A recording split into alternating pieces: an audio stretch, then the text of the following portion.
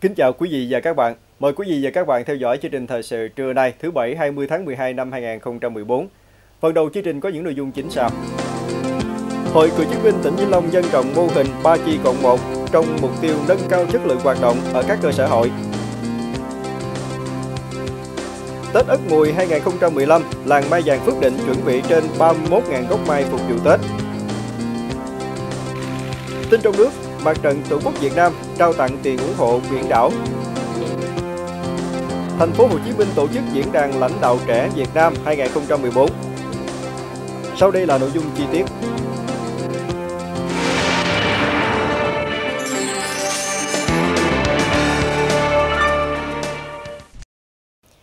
Quý vị và các bạn, hôm qua Hội Cựu Chiến binh khối cơ quan và doanh nghiệp tỉnh Vĩnh Long đã tổ chức họp mặt truyền thống nhân dịp kỷ niệm 70 năm ngày thành lập Quân đội Nhân dân Việt Nam và kỷ niệm 25 năm ngày thành lập Hội Cựu Chiến binh Việt Nam. Tại buổi họp mặt, các đại biểu cùng nhau ôn lại truyền thống lịch sử vẻ vang 70 năm xây dựng chiến đấu trưởng thành của Quân đội Nhân dân Việt Nam anh hùng, đồng thời ôn lại chặng đường 25 năm xây dựng và phát triển của Hội Cựu Chiến binh Việt Nam. Ở tỉnh Vĩnh Long, từ khi thành lập đến nay, các cấp hội cựu chiến binh trong tỉnh đã góp phần thực hiện tốt công tác giáo dục truyền thống, tham gia tích cực các phong trào cách mạng ở địa phương. Qua buổi họp mặt, các thế hệ cựu chiến binh bày tỏ sự tin tưởng tuyệt đối vào sự lãnh đạo của Đảng, đồng thời quyết tâm giữ gìn sự đoàn kết, tiếp tục phát huy truyền thống bộ đội cụ Hồ, tích cực tham gia bảo vệ đường lối, chủ trương, chính sách pháp luật của Đảng và nhà nước, giúp nhau thoát nghèo, vươn lên trong cuộc sống. Thiết thực chào mừng kỷ niệm 70 năm ngày thành lập Quân đội Nhân dân Việt Nam và 25 năm ngày Hậu Quốc phòng toàn dân 22 tháng 12. Phòng văn hóa thông tin thị xã Bình Minh phối hợp với thị đội và thị đoàn tổ chức đêm giao lưu văn nghệ hát mãi khúc quân hành.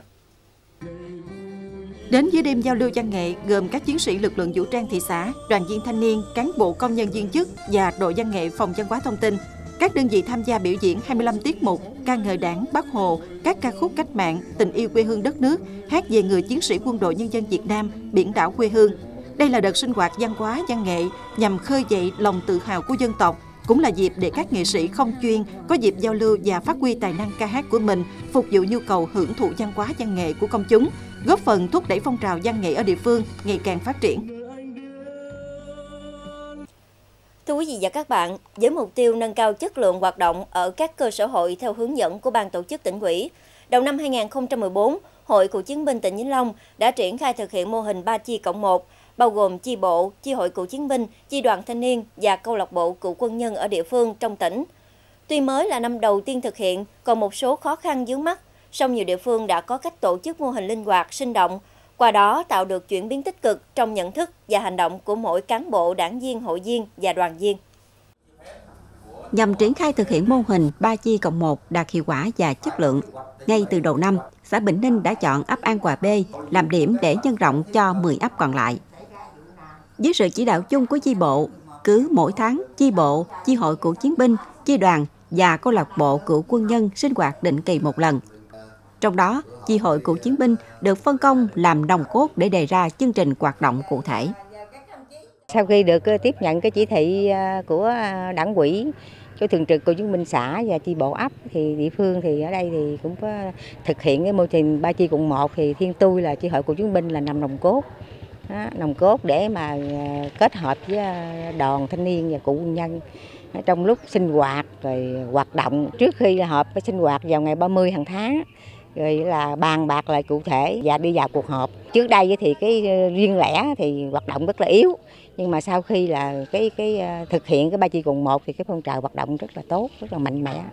Công tác địa phương rất tốt nhất là các cái mô hình mà của địa của địa phương như là à, dân dẫn khéo là vấn đề là ờ, xây dựng nông thôn mới. Mô hình ba chi cộng 1 ấp An Hòa B có gần 40 đảng viên, hội viên, đoàn viên và cựu quân nhân tham gia. Ngoài sinh hoạt chính trị, hàng tháng các hội đoàn thể chính trị của ấp còn phát động hội viên nhiều phong trào hành động cách mạng tại địa phương. Tính trong năm 2014, ấp đã vận động các đoàn viên, hội viên và nhân dân phát quang bụi rậm trên các con đường hơn 2.200 mét, đóng góp hơn 31 triệu đồng, sửa chữa nâng cấp 2,4 km đường giao thông nông thôn, đồng thời góp vốn giúp đỡ nhiều hội viên phát triển kinh tế. Nhờ đó đến nay, toàn ấp An Hòa B giảm chỉ còn 2 hộ nghèo. Vô cái à, hội cựu chiến binh này tham gia cái ba chi à, à, cộng một thì được cái chi bộ giúp đỡ như hỗ trợ đồng vốn xây dòng được 10 triệu vì làm kinh tế gia đình. Nhưng là mua giống cây về trồng, mua hạt thì trồng rồi rồi trồng rồi có năng suất, rồi mình có thu hoạch rồi mình trả lại. Từ thi được hỗ trợ thì cuộc sống gia đình thì được ừ, dương lên, con cái được đi học đàng hoàng đến nơi đến chốn. Ờ, kinh tế gia đình nó cũng khấm khá lên Thực tế hiện nay, không ít cơ sở còn khó khăn trong công tác vận động tập hợp các lực lượng tham gia mô hình 3 chi cộng 1. Do số đoàn viên thanh niên, cựu quân nhân đi làm ăn xa. Để khắc phục tình trạng này, một số huyện thị thành hội tham mưu cho cấp quỹ ra đảng văn lãnh chỉ đạo, đồng thời có văn bản liên tịch giữa hai đoàn thể và ban chỉ huy quân sự. Từ đó số lượng mô hình 3 chi cộng 1 ở từng địa phương được nâng lên đáng kể. Phong trào 3 chi cộng một thì ờ, vừa qua thì chúng tôi cũng đã có những cái, cái, cái khởi xướng hoạt động rồi. Nhưng trong đó thì có, có đi kiểm tra đi giám sát thì một số nơi cũng đã có hoạt động là tương đối là đã kết quả.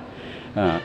thì chính vì cái hoạt động này thì cái chất lượng hoạt động của hội và cái trong cái sinh hoạt chất lượng sinh hoạt cũng nâng lên. Cái trách nhiệm của hội viên trách nhiệm của cán bộ là à, trong cái công tác hội thì nó cũng phát triển tốt. Nhất là cái sự phối hợp giữa là cái tổ chức đoàn à, tổ chức của cựu chiến binh với là cái cái uh, câu lạc bộ của quân nhân. Bên cạnh đó có sự tăng cường là lãnh đạo chỉ đạo của cấp ủy địa phương. Với sự lãnh đạo định hướng của chi bộ đảng tinh thần yêu nước của chi hội cựu chiến binh và tinh thần nhiệt quyết năng động của chi đoàn và cựu quân nhân là thể kiện vững chắc trong các hoạt động chính trị ở địa phương. Đây cũng là khối thống nhất từng bước nâng cao chất lượng các chi hội, chi đoàn và câu lạc bộ còn yếu kém qua đó góp phần thực hiện thắng lợi nghị quyết địa phương và thúc đẩy kinh tế xã hội phát triển.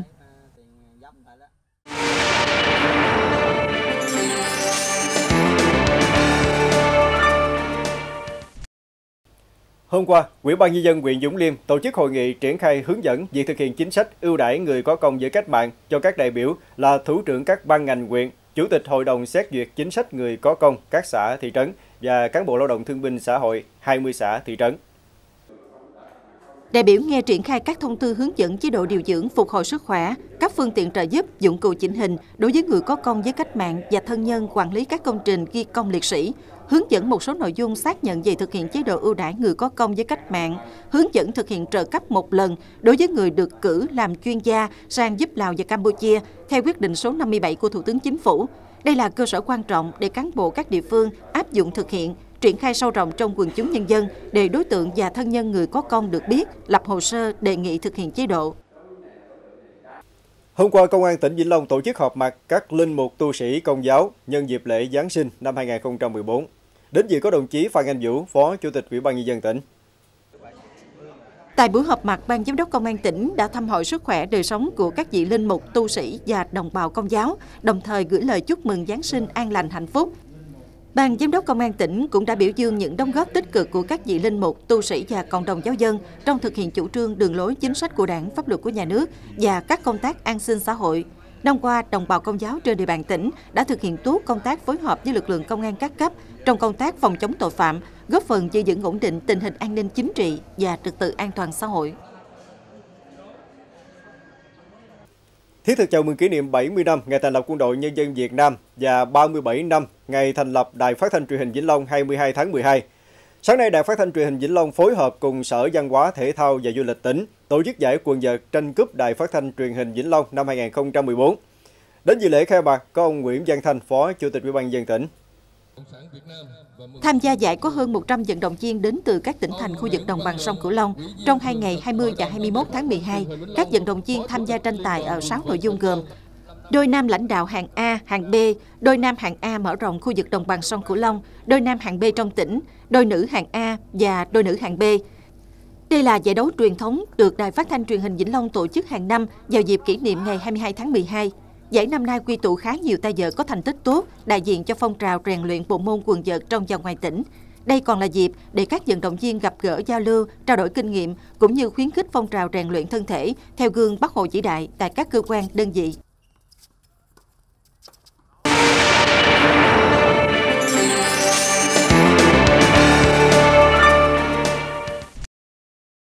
Ban chỉ đạo quốc gia về phòng chống buôn lậu, gian lận thương mại và hàng giả tỉnh Vĩnh Long đã tổ chức đoàn kiểm tra liên ngành thực hiện nhiệm vụ kiểm tra ngăn chặn có hiệu quả tình trạng buôn bán, tiêu thụ phân bón, thuốc bảo vệ thực vật giả kém chất lượng không rõ nguồn gốc. Đoàn tiến hành kiểm tra các tổ chức cá nhân sản xuất, gia công, đóng gói, sang chiết, kinh doanh mặt hàng phân bón, thuốc bảo vệ thực vật tại các địa phương trong tỉnh. Đồng thời kiểm tra các phương tiện vận chuyển hàng hóa thủy, bộ đi ngang qua Vĩnh Long có dấu hiệu vi phạm. Kết quả kiểm tra bước đầu cho thấy các tổ chức cá nhân chấp hành tốt các quy định về điều kiện kinh doanh phân bón, thuốc bảo vệ thực vật, hàng hóa kinh doanh có nguồn gốc xuất xứ rõ ràng, có công bố chất lượng sản phẩm, công bố hợp quy, chứng nhận hợp quy. Để đảm bảo sản phẩm đạt chất lượng, bảo vệ quyền lợi người tiêu dùng, đoàn đã tiến hành lấy một số mẫu phân bón, thuốc bảo vệ thực vật, gửi kiểm định các tiêu chí chất lượng như nhà sản xuất đã công bố và được chứng nhận. Hôm qua tại Sở Khoa học và Công nghệ Vĩnh Long, Trung tâm ứng dụng tiến bộ khoa học và công nghệ đã tổ chức hội thảo với chủ đề mô hình trồng rau quả và hoa kiển trên giá thể hữu cơ sạch. Đề tài mở rộng ứng dụng giá thể hữu cơ dung dịch dinh dưỡng trong canh tác rau hoa kiển tại Vĩnh Long đã xây dựng được 15 mô hình trồng rau kiển, trong đó có 6 mô hình rau ăn lá, 6 mô hình trồng cây ăn trái và 3 mô hình trồng hoa phong lan. Các loại giá thể được sử dụng để trồng cây là bụi dừa, rơm sao trồng nấm và vỏ trái, thân cây đậu nành qua xử lý phối trộn hữu cơ, men vi sinh vật. Kết quả các loại cây trồng trong mô hình đạt các chỉ tiêu về chiều cao cây, đường kính thân, đặc biệt là năng suất đều cao hơn gấp 2 đến 3 lần so với trồng trên đất bình thường. Tại hội thảo, các đại biểu đánh giá cao về mô hình sử dụng các loại giá thể để trồng cây, xem đây là mô hình phù hợp với xu hướng phát triển nền nông nghiệp đô thị hiện đại, nền nông nghiệp xanh cần tiếp tục nhân rộng cũng như áp dụng thêm nhiều loại cây trồng khác. Đặc biệt mô hình này không những góp phần bảo vệ môi trường mà còn đảm bảo sức khỏe cho người tiêu dùng. Để phục vụ Tết Ất Mùi 2015, làng mai vàng tại xã Bình Hòa Phước, huyện Long Hồ đã chuẩn bị trên 31.000 gốc mai đủ kích cỡ, sẵn sàng cung ứng cho thị trường. Trong đó có hơn 550 gốc mai đại, 10.800 gốc mai trung và 20.000 gốc mai tiểu. Nhìn chung, người trồng mai Phước Định vẫn tập trung sản xuất, dung bồi những gốc mai vàng năm cánh, vì đây là loại mai chủ lực của làng nghề. Tuy nhiên, về hình dáng, kích cỡ mai Tết năm nay có phần đa dạng, phong phú hơn. Ngoài những gốc mai cổ, những gốc mai trung và tiểu được tạo dáng khá cầu kỳ, bắt mắt nhằm thu hút người tiêu dùng. Mai Tết được tiêu thụ chủ yếu tại các tỉnh đồng bằng sông Cửu Long, Hà Nội, thành phố Hồ Chí Minh. Hiện tại, các gốc mai đang được nhà vườn chăm sóc kỹ lưỡng nên phát triển khá tốt. Giá cả vật tư năm nay cũng không biến động nhiều, nên hứa hẹn người trồng mai vàng Phước Định sẽ có thu nhập cao, ăn Tết được sung túc hơn.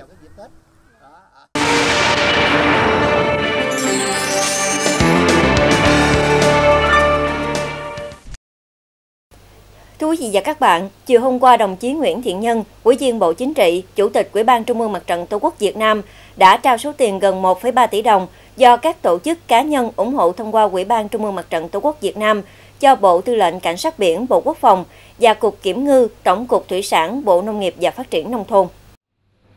Trước thêm cả nước kỷ niệm 70 năm thành lập Quân đội Nhân dân Việt Nam, đại diện cho nhân dân cả nước, Ủy ban Trung ương Mặt trận Tổ quốc Việt Nam trao tiền hỗ trợ gần 700 triệu đồng cho Cục Kiểm ngư và 600 triệu đồng cho Bộ Tư lệnh Cảnh sát biển.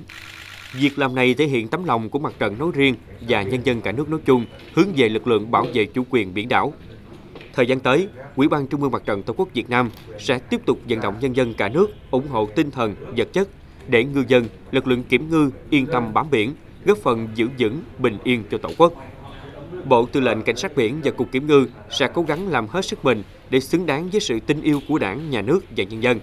Số tiền ủng hộ này, hai lực lượng sẽ dùng để bổ sung mua sắm các trang thiết bị viễn thông, đầu tư hệ thống nước ngọt, phục vụ công tác sẵn sàng chiến đấu lâu dài trên biển.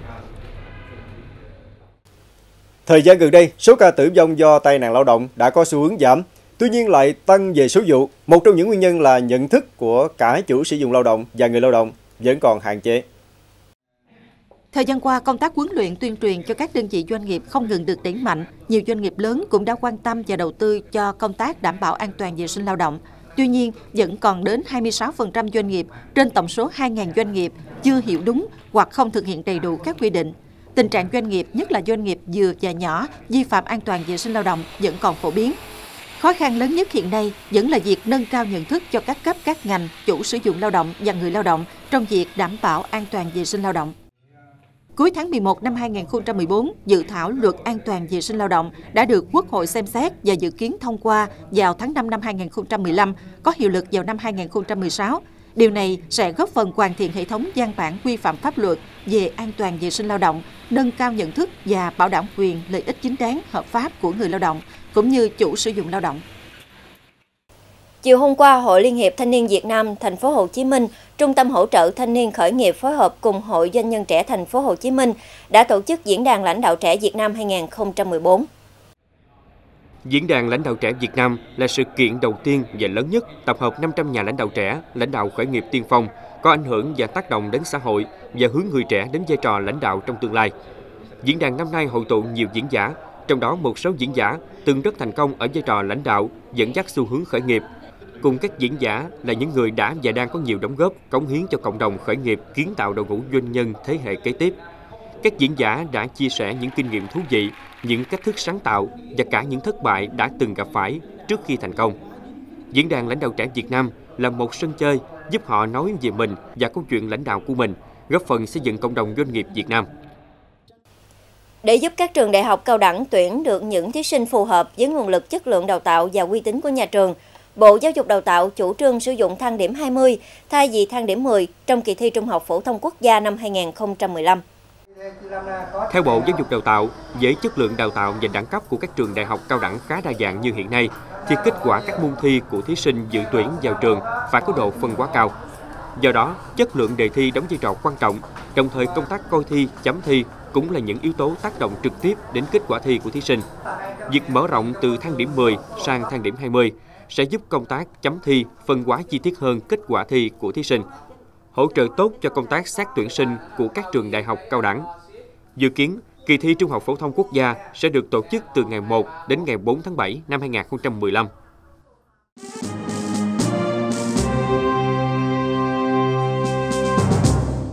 Tiếp theo chương trình thời sự trưa nay, mời quý vị và các bạn theo dõi phần tin quốc tế với những nội dung chính sau đây. Quốc hội Cuba thông qua quyết định bình thường hóa quan hệ với Mỹ. Tổng thống Vladimir Putin khẳng định học thuyết quân sự của Nga luôn mang tính phòng vệ, dù quân đội của Tổ chức Hiệp ước Bắc Đại Tây Dương NATO tăng cường sự hiện diện sát biên giới Nga. Tổng thư ký Liên Hiệp Quốc bắt đầu chuyến thăm bốn quốc gia Tây Phi nằm trong vùng tâm dịch sốt xuất huyết Ebola. Đêm qua giờ Việt Nam, Quốc hội Cuba khóa 8 đã tiến hành phiên họp toàn thể lần thứ tư tại thủ đô La Habana, trong bối cảnh Cuba vừa đạt được thỏa thuận lịch sử với Mỹ về việc tái thiết lập quan hệ ngoại giao sau hơn nửa thế kỷ gián đoạn. Mở đầu phiên họp, các đại biểu Quốc hội Cuba đã biểu quyết nhất trí ủng hộ và thông qua quyết định nối lại quan hệ ngoại giao với Mỹ do Chủ tịch Raúl Castro công bố hôm 17 tháng 12. Ngoài ra, Quốc hội Cuba cũng ra thông cáo bày tỏ cảm ơn tình đoàn kết của cộng đồng quốc tế trong chiến dịch kéo dài suốt 16 năm qua vì sự tự do của năm chiến sĩ anh hùng chịu án tù giam ở Mỹ. Cả năm chiến sĩ này đều đã được trả tự do. Trong đó có ba người được phóng thích cùng ngày hai nhà lãnh đạo Mỹ và Cuba thông báo quyết định bình thường hóa quan hệ song phương. Kỳ họp lần này của Quốc hội Cuba cũng tập trung đánh giá tình hình phát triển kinh tế đất nước, lộ trình triển khai các biện pháp cập nhật mô hình kinh tế, cũng như đưa ra những định hướng phát triển cho năm 2015. Cuba hy vọng tăng lượng hàng hóa trao đổi, nâng tổng kim ngạch xuất khẩu lên thêm 738 triệu đô la Mỹ, trong đó tập trung vào các lĩnh vực dịch vụ y tế và du lịch. Cũng đêm qua, phát biểu trong buổi họp báo cuối năm tại Washington, Tổng thống Mỹ Barack Obama khẳng định Cuba sẽ thay đổi. Đó là kết quả của việc đảo quốc này nối lại quan hệ với Washington. Nhưng những thay đổi đó sẽ không diễn ra trong một đêm. Tổng thống Obama cũng bác bỏ khả năng sớm diễn ra những chuyến thăm lẫn nhau của lãnh đạo hai nước. Sáng nay, tại đặc khu hành chính Macau Trung Quốc đã diễn ra lễ kỷ niệm 15 năm đặc khu này được trao trả về cho Bắc Kinh. Tham dự buổi lễ có Chủ tịch Trung Quốc Tập Cận Bình cùng nhiều quan chức cấp cao của Macau. Đúng 8 giờ sáng, lễ thượng cờ đã diễn ra tại quảng trường Golden Lotus ở đặc khu hành chính Macau với sự tham dự của trưởng đặc khu Thôi Thái An. Ngày 20 tháng 12 năm 1999, Macau được chuyển giao từ quyền quản lý của Bồ Đào Nha sang Trung Quốc và được hưởng quy chế một nước hai chế độ trong vòng ít nhất 50 năm. Trong diễn văn đọc tại lễ kỷ niệm với các quan chức Macau sau đó, Chủ tịch Tập Cận Bình bày tỏ tin tưởng rằng đặc khu này nhất định sẽ ngày càng vững mạnh trên con đường đúng đắn với sự chỉ đạo của chính sách một nước hai chế độ và luật cơ bản. Nhân dịp tới Macau lần này, Chủ tịch Tập Cận Bình cũng tham dự lễ nhậm chức của chính quyền đặc khu hành chính Macau khóa 4. Tổng thống Nga Vladimir Putin đêm qua tuyên bố nước Nga sẽ kiên định bảo vệ nghiêm ngặt an ninh quốc gia. Tổng thống Putin đồng thời khẳng định, mặc dù quân đội của Tổ chức Hiệp ước Bắc Đại Tây Dương NATO tăng cường sự hiện diện sát biên giới Nga, tuy nhiên Nga vẫn sẽ tiếp tục duy trì học thuyết quân sự mang tính phòng vệ.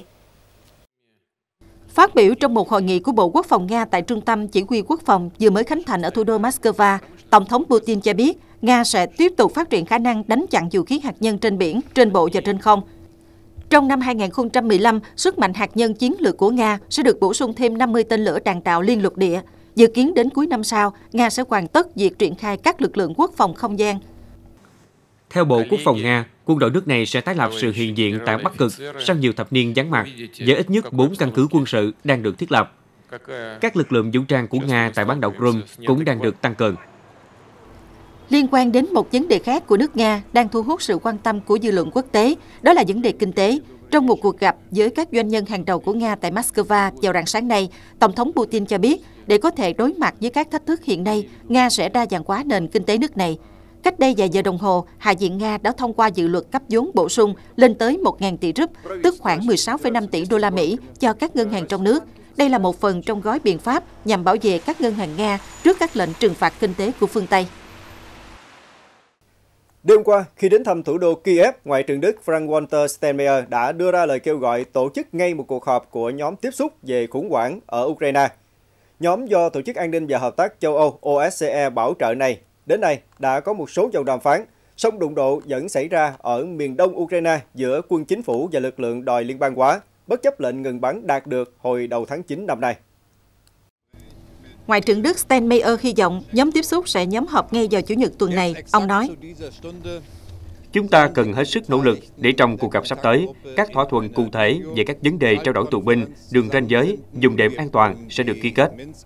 Trên hết, khi mùa đông đang đến, chúng tôi muốn thấy các thỏa ước về viện trợ nhân đạo cho người dân ở miền đông Ukraine. Theo Liên Hiệp Quốc, số nạn nhân thiệt mạng trong cuộc xung đột ở Ukraine đã hơn 4.700 người kể từ giữa tháng 4 năm nay. Ngoại trưởng Đức Steinmeier cho biết thương vong đã giảm hẳn kể từ khi lệnh ngừng bắn được ký tại Minsk, Belarus, nhưng nhận định vẫn còn nhiều việc phải làm. Trong một diễn biến có liên quan, Quỹ Nhi đồng Liên Hiệp Quốc UNICEF đã bày tỏ lo ngại rằng trẻ em phải hứng chịu hậu quả lớn từ cuộc xung đột ở Ukraine. Trong báo cáo công bố tại Geneva, Thụy Sĩ vào đêm qua, tổ chức này cho biết có 1,7 triệu trẻ em đang bị ảnh hưởng nghiêm trọng. Theo UNICEF, hơn 1 triệu trẻ đã phải cùng gia đình đi lánh nạn, và điều đó đã ảnh hưởng đến việc học, quyền được chăm sóc y tế của các em.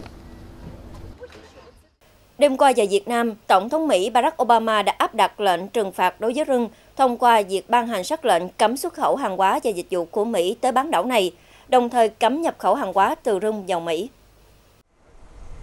Lệnh trừng phạt mới của Mỹ cũng cấm các khoản đầu tư mới của Mỹ vào Crimea và quỹ quyền cho Bộ Tài chính Mỹ áp đặt trừng phạt đối với những cá nhân và công ty Mỹ đang kinh doanh tại bán đảo này.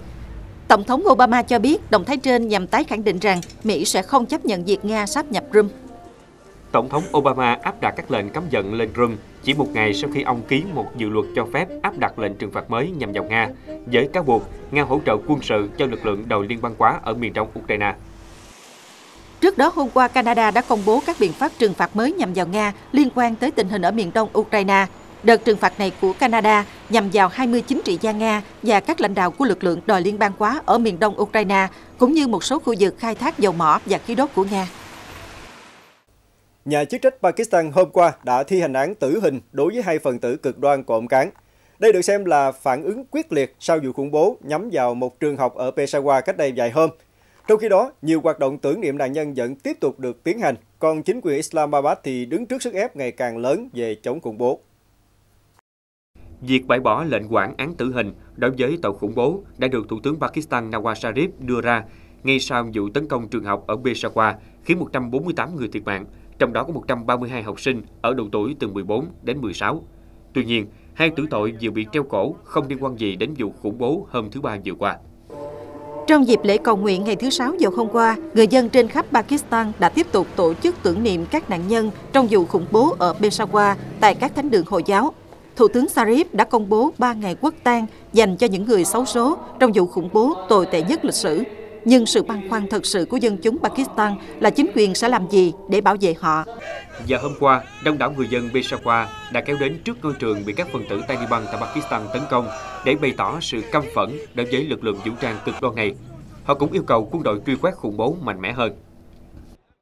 Tiếp theo chương trình là một số tin nhắn. Mời quý vị và các bạn tiếp tục theo dõi. Quân đội Israel sáng sớm hôm nay cho biết các máy bay chiến đấu của nước này đã tiến hành không kích các mục tiêu ở phía nam giải Gaza. Động thái trên diễn ra chỉ vài giờ sau khi một quả rocket được bắn từ phía Palestine về phía lãnh thổ Israel.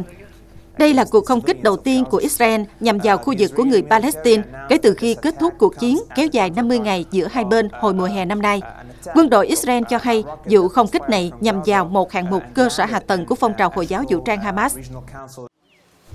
Người mẹ của 7 trong số 8 đứa trẻ thiệt mạng do bị đâm chém trong một ngôi nhà ở thành phố Kars của Australia và hôm qua, vừa bị bắt giữ do bị tình nghi giết người. Cảnh sát cho biết, người phụ nữ 37 tuổi này vẫn tỏ ra minh mẫn khi trả lời thẩm vấn.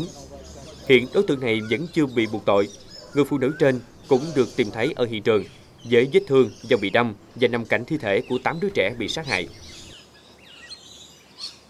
Một thủ lĩnh người quốc tại Iraq vừa cho biết lực lượng chiến binh địa phương đã mở đường tiến vào núi Sinjar, bị các phần tử phiến quân IS dây hãm và giải cứu được hàng trăm người thiểu số Yazidi. Trong chiến dịch này, họ cũng đã tiêu diệt khoảng 100 tay súng IS. Cuộc tấn công của chiến binh người quốc được hậu thuẫn bởi hoạt động không kích của Liên minh quốc tế chống IS. Núi lửa Gamalama ở miền đông Indonesia đã bắt đầu phun trào từ hôm qua với những cột tro bụi cao khoảng 2.000 mét, khiến một nhóm leo núi phải tức tốc tìm nơi trú ẩn. Giới chức địa phương cho biết 9 người đã bị thương và một người khác mất tích. Các làng mạc lân cận đang bị tro bụi bao phủ, nhưng lệnh sơ tán chưa được ban hành. Tổng thư ký Liên Hiệp Quốc Ban Ki-moon đêm qua đã tới thủ đô Monrovia của Liberia, bắt đầu chuyến thăm hai ngày đến bốn quốc gia Tây Phi nằm trong vùng tâm dịch sốt xuất huyết Ebola. Tổng thư ký Ban Ki-moon thực hiện chuyến thăm này đến Liberia, Sierra Leone, Guinea và Mali là nhằm gửi lời cảm ơn đến các tổ chức và nhân viên y tế đã góp sức trong cuộc chiến chống lại đại dịch Ebola, vốn đã cướp đi sinh mạng của gần 7.000 người kể từ khi bùng phát hồi đầu năm nay. Phát biểu tại Monrovia, Tổng thư ký Ban Ki-moon hối thúc các nhà lãnh đạo trong khu vực thực hiện các biện pháp giáo dục người dân tuân thủ các quy định y tế nghiêm ngặt để kiềm chế sự lây lan của dịch bệnh. Phong tục tắm rửa cho người quá cố bằng tay không trong các đám tang ở Tây Phi là một trong những nguyên nhân khiến dịch Ebola tại đây lây lan nhanh chóng. Tổng thư ký Liên Hiệp Quốc cũng kêu gọi sự chuẩn bị tốt hơn nữa trong việc ứng phó với dịch bệnh ở phạm vi địa phương. Ông nhấn mạnh các nước trong khu vực cần tiếp tục nỗ lực để tránh nguy cơ tái lây truyền dịch bệnh, mặc dù cuộc chiến chống Ebola ở Liberia đã mang tới những kết quả khả quan. Đêm qua, trong một tuyên bố chính thức, Cục Điều tra Liên bang Mỹ FBI đã cáo buộc Cộng hòa Dân chủ Nhân dân Triều Tiên đứng đằng sau vụ tấn công mạng gần đây nhằm vào hãng phim Sony Pictures. Theo FPI, có những điểm tương đồng giữa phần mềm độc hại được sử dụng trong vụ tấn công hãng Sony và đoạn mã sử dụng để tấn công hệ thống mạng của Hàn Quốc hồi năm ngoái.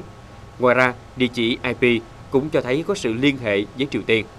Phát biểu tại một cuộc họp báo ở thủ đô Washington DC vào rạng sáng nay, Tổng thống Mỹ Barack Obama tuyên bố Mỹ sẽ có biện pháp đáp trả tương xứng đối với vụ tấn công này. Ông Obama cũng cho rằng hãng Sony đã phạm sai lầm khi quyết định không phát hành bộ phim The Interview sau khi các tin tặc đe dọa thực hiện các vụ khủng bố nhắm vào khán giả. Trước đó, hôm qua, Nhà Trắng cho biết chính quyền Washington coi vụ tấn công mạng nhằm vào hãng Sony là một vấn đề an ninh quốc gia. The Interview là bộ phim hài mà hãng Sony dự định công chiếu vào lễ Giáng sinh 25 tháng 12 tới. Trong phim có đề cập đến vụ ám sát hư cấu nhằm vào nhà lãnh đạo Triều Tiên Kim Jong-un. Đến đây chúng tôi xin kết thúc chương trình thời sự trưa của Đài truyền hình Vĩnh Long. Cảm ơn quý vị và các bạn đã quan tâm theo dõi. Thân ái chào tạm biệt.